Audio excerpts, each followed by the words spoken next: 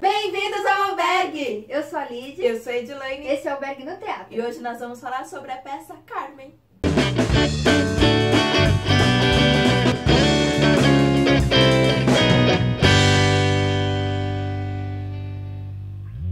A gente foi assistir a peça Carmen, que é uma peça centenária, vamos falar assim, é uma história centenária.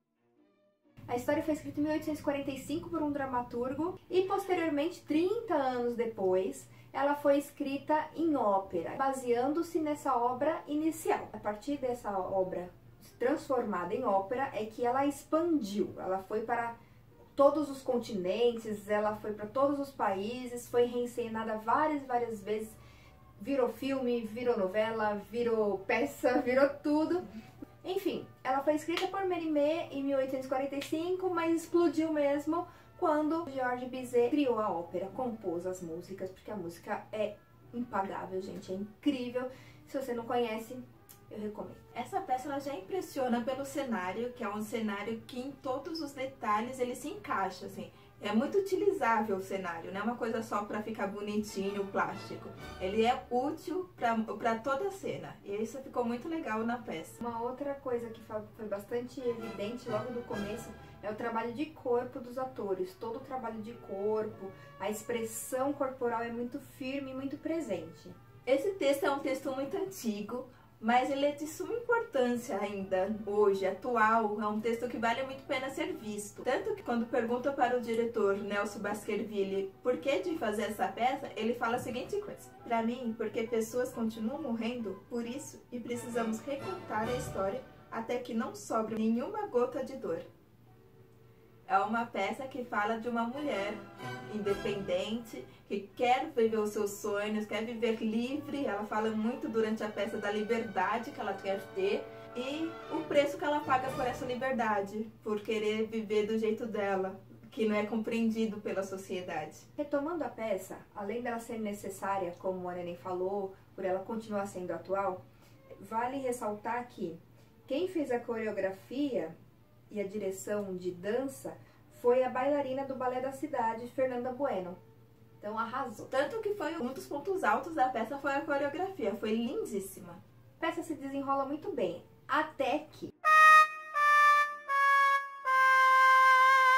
até que os personagens se tornam narradores. Até aí tudo bem, gente, acontece várias vezes, sempre acontece, tá lindo mas eles usaram um artifício que pra gente não ornou, que foi o microfone, esse pedestal, pedestal assim. Então eles davam a cena, tá, tá, tá, aí agora ah, é hora de narrar. Vou correndo ali, vou falar no microfone. Dava uma quebra muito grande na sequência. Pode ter sido a intenção do diretor? Pode.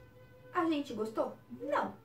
Então, uma coisa que a gente, nesse ponto, a gente achou que poderia ter sido resolvido de uma outra forma. Tanto que não é só questão de gosto, tem isso que a gente realmente não gostou. Tanto a Natália Gonzalez quanto o Flávio Tolesani saíram para falar no microfone. Quando eles voltavam, era uma quebra. A potência vocal não estava a mesma, o ritmo caía nessa hora, e aí eles retomavam. E aí nos arrebatava de novo. Então ficar aquela cena. Aí de repente eles iam de novo para o microfone. Porque essa saída para ir pro microfone era realmente sair, saía do cenário e ia para fora, assim. Tipo, parecia que realmente estava totalmente alheio da peça. Perdia-se muito. Toda vez que eles iam pro microfone, eu ficava, não, por favor, não vai. Eu tô, tô, gostando tanto, tá tão bom. Não me deixa perder esse momento, sabe? Eu tô querendo curtir isso, por favor. Eu tô sofrendo já aqui. Porque é uma tragédia, né, gente? Então eu tô aqui nesse sofrimento, você tá querendo romper? Parece aquelas vezes quando você tá assistindo televisão e sua mãe fica te chamando. Porque é totalmente externo. Pra mim não fez nenhum melhor sentido. Tem uma parte que a gente achou muito interessante que foi a parte da utilização do espaço. Eles não utilizaram apenas ali o palco, que onde a gente foi assistir, inclusive era um palco arena, mas eles utilizaram as escadas, utilizaram a arquibancada, foi para fora, então foi muito inteligente a utilização dos espaços. Outro ponto muito bom foi a iluminação. Em todo momento a iluminação ela continuava a cena, sabe? Ela complementava o que era dito ficou perfeito. Outra coisa que a gente observou que chamou bastante nossa atenção foi a sonoplastia, a trilha sonora. Gente, foi muito preciso também.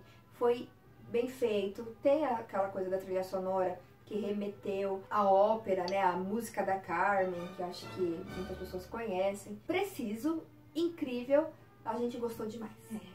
E ainda bem que eles colocaram a música da Carmen, porque eu acho que se tivesse faltando essa música, eu ia ficar com tipo ah, um pesar, porque essa música ela é maravilhosa e é a música icônica do personagem. No geral, gente, a gente saiu da peça muito tensa, Foi. muito tensa, porque a peça foi arrebatadora. A gente saiu de lá toda tensa, doída, assim, ó, porque a gente se enfiou na peça e sentiu aquilo de forma muito forte. E é uma tragédia, né, gente? Então, sendo tragédia, mexer com a gente desse jeito é muito natural. Como a Nidy disse, né? Deixou a gente dura de tensão, foi uma peça que deixou a gente carregada mesmo e vale muito a pena. Muito a pena pela mensagem, pela ideia do que ela quer passar pra gente para homens, mulheres, todo mundo tem que assistir, porque realmente é a questão do respeito, é essa mensagem que fica, é respeitar o indivíduo, a liberdade de cada um, não querer ditar a forma que você quer que a pessoa viva, mas deixar a pessoa viver do jeito que ela quer. E teve uma coisa que eu falei pra neném assim que acabou a peça, porque eu sempre na minha vida toda, isso é uma curiosidade minha mesmo,